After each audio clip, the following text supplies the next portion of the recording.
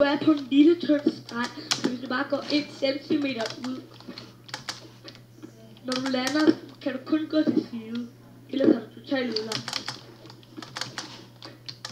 Her er det glitchen. Det er Martin på glitchen. Ja. Og hvis nogen skulle vide det, er det Martin 13, mit brugernavn er. Martin 1324. Nej, jeg hedder Martin 13.